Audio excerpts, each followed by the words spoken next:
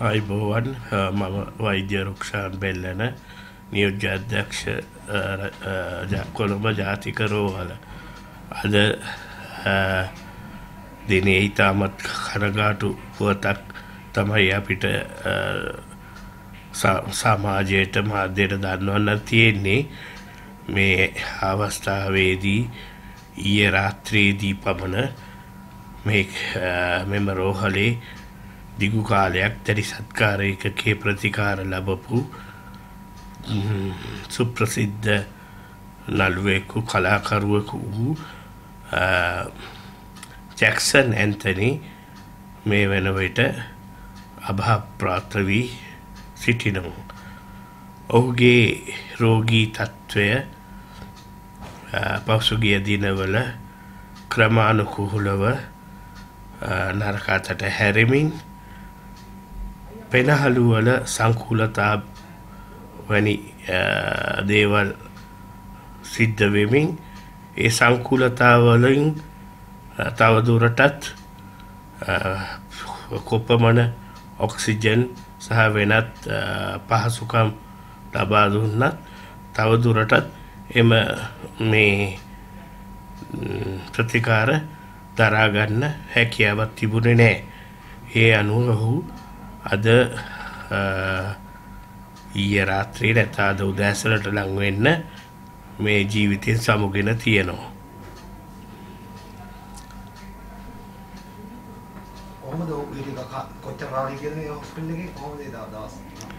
සාමාන්‍යෙන් ඔහුගේ ඒ හදිසි අනතුරු තත්ත්වයෙන් පස්සේ ඔහු දැඩිසත්කාරයකගේ දිගින් දිගටම අපි කිව්වා වගේ දින පන්සිය එක් පවා රෝහලේ රැඳී සිටිලා තියෙනවා. ඔහු හිටිය කාමරේ අද්භූත දේවල් සිදු වුණා කියලා සමාජ මාධ්‍යවල ගහලා අපි දැක්ක මොකක්ද ඇත්තටම එහෙම දෙයක්? එකම අද්භූත සිද්ධිය තමයි ඔහුව බලාගෙන හිටපු වෛද්‍යවරු හොඳින් තම රාජකාරිය නොපිල්හෙලා ඉටු කිරීම. ඒ ඇරෙන්න අද්භූත දෙයක්ම සිද්ධ වුන්නේ වේ. සමහර YouTube නාලිකාවලට වීව්ස් වැඩි කරගන්න එහෙම දේවල් කිව්වට. රෝගියා බේර ගැනීමේ හැකියාවක් තිබුණේ නැද්ද?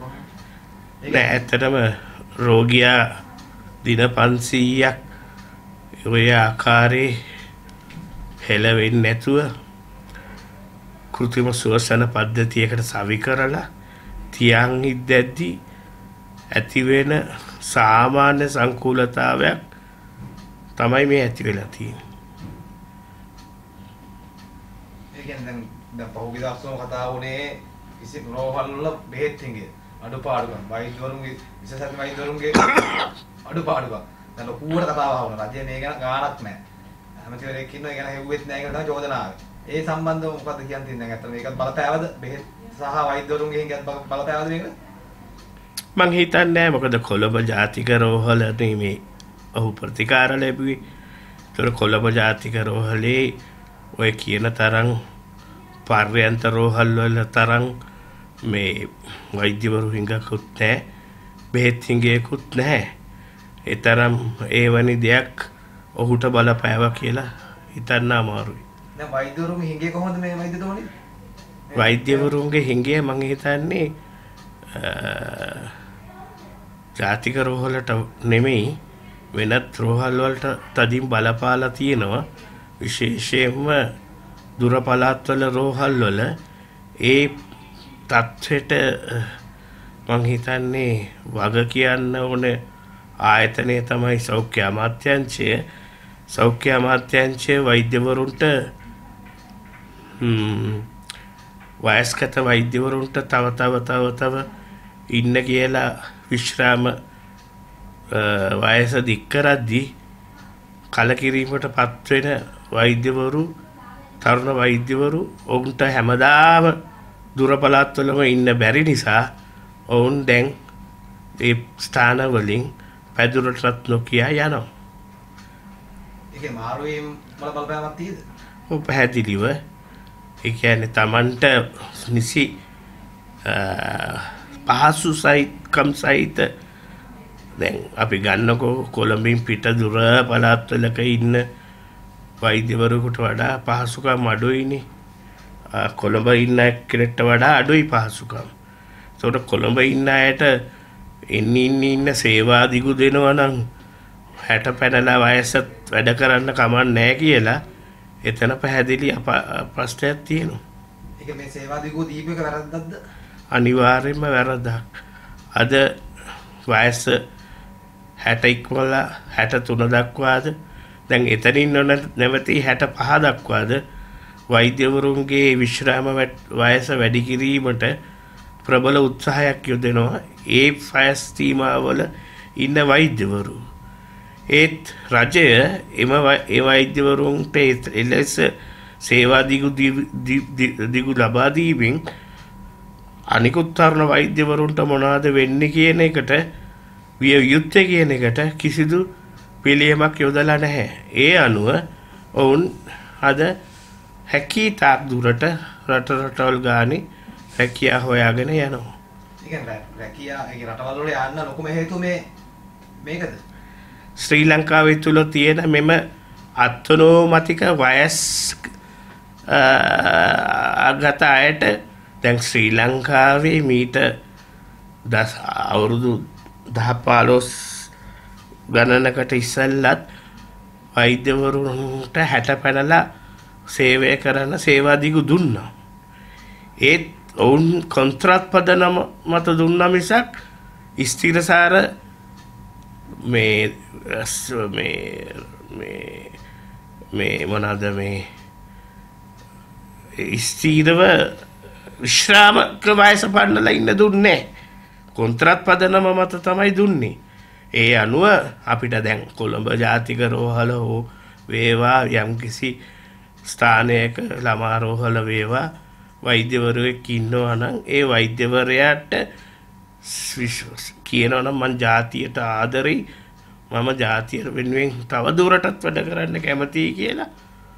අනේ අපොයි අර තියෙනවා. එහෙම ජාතියට ආදරයට වැඩ කරන්න මොනරාගල පැතිවල බිබිලි මහියංගනේ කිලිනොච්චි වගේ ප්‍රදේශවල. නමුත් ඉල්ලන්නෙම නෑ ඉන්න පලාතක හොඳ නුවර කොළඹ අන්රාධපුර වගේ විශාල රෝහල් වලමයි ඉල්ලන්නේ. ඒක පිටි පස්සේ පුද්ගලික වෛද්‍ය වෘත්තිය තියෙනවා කියන එක මේ තියෙනවා කියන එක මේ ආණ්ඩුව නිකන් නොදැක්කාසේ ඉඳමින් කටයුතු කරන. ඒක මේ සේවා දිගුව දීලත් ඒගොල්ලෝ පෞද්ගලික දේවලුත් කරගන්න බලනවා. ඒක තමයි මූලිකමදේ අරමුණ. මූලිකාර මුණ දැ අපිතුම කොළඹ ජාතිකර හොල හිටිය කියලා. ඔව්. නොම් ජාතිකර හොලේ හිටියොත් මේ හොඳ පුද්ගලික වෛද්‍ය සේවාවක් අවට තියෙන රෝහල් වලින් ඒගොලට ලැබෙනවා. ඉතින් දැන් ඒක නෙමේ ඉස්සරහට දාන්නේ. මං රටට ආදරෙයි ජාතියට ආදරෙයි අපිට තාම හැකියාව තියෙනවා මේ සේවය දෙන්න කියන එක. එතකොට ආ එහෙමනම් ඉන්න කියලා දුන්නොත් අර තරුණ බලාගෙන ඉන්නවනේ. දැන් මෙතන පුරප්පාඩුවට ඇවිල්ලා වැඩ කරන්නේ ඒගොල්ලන්ට හැමදාම සදා සොත්ති බවන් දැන් මේ පළාත් රෝහල් වැසී යාමේ අවදානමක් තියෙනවා කියලා රජ වෛද්‍යවරුන්ගේ නිලධාරීන්ගේ සංගමය කියනවා. මේවා විසඳුම් නැත්තම් ඒ පළාත් රෝහල් වල ඉන්න එක වෛද්‍යවරයා හරි කොළඹට කරනවා. ඒ කියන්නේ ඉන්න ඔව් දැන් ඒක තමයි කියන්නේ? පළාත් රෝහල් දැන් ඉතින් රජයට මේ නිසි ප්‍රතිපත්තියක් නැති නිසා අ, මේ රෝහල් ටික වැසී යාමේ අවදානමක් තියෙනවා. මේ රෝහල් ටික අනිවාර්යයෙන්ම වැසී යාමේ අවදානමක් තියෙනවා. රජයකට කොච්චර පැහැදිලි කරත් මේ විශ්‍රාම වැටුප වැඩි කිරීම නෙමෙයි වෛද්‍යවරුන් රඳවා ගන්න තියෙන උත්- අ, ක්‍රමවේදය කියලා. ඉතින් කාට කියන්නද මේවා? මේවා කාට කියන්නද පැහැදිලි කරන්න තරුණ විශේෂඥ වෛද්‍යවරු තරුණ විශේෂඥ නොවන වෛද්‍යවරුගේ හඬ අද යටපත් වෙලා තියෙන. ඒ සේවා දිගු දෙන්න ඕනේ නැහැ මේ තරුණ විශේෂඥ වෛද්‍යවරුපත් වුණා. අලුතෙන් ඉන්න ඉන්න ඉන්න ඉන්න අය. ඒ අයට සේවා දිගු නෙමෙයිනි. ඒගොල්ලට දෙන්න ඕනේ පත්වීම. පත්වීමක් දෙන්නේ ඇනේ දැන් වයස්ගත අය මේ අවහිර කරගෙන ඉන්නවනේ මේ ප්‍රධාන රෝහල්වල තනතුරු. එතකොට අර පිට පළත්වල ඉන්න අයට ඇවිල්ල වැඩ කරන්න අවස්ථාව නැහැ. දැන් මේ හදිසි මිලදී ගැනීම අමතිවරයා අත්තිටෙව්වා. ඒ තත්ත්වෙන්න කොහොමද දැන් බෙහෙත්? හදිසි මිලදී ගැනීම් ඇමතිවරයා අත්හිටෙව්වේ නෑ ඇත්තිටෙව්වේ IMF කොන්දේසියක් මත දෙවන වාරකය ලබා ගන්න